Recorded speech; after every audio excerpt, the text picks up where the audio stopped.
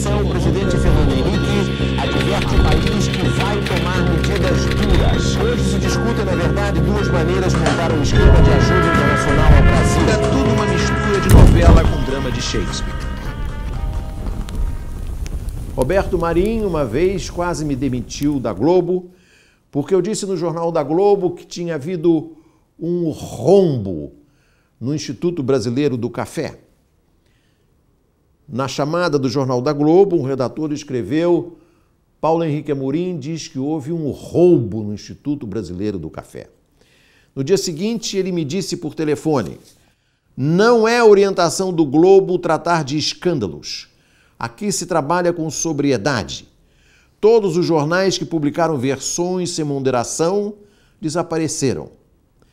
A TV Globo age na mesma toada, a da moderação. Esse foi um dia de infelicidade. Você, no meu noticiário, não deve se ajustar ao que você fazia no Jornal do Brasil. Você não se ajustou à televisão e mandou eu procurar o departamento do pessoal.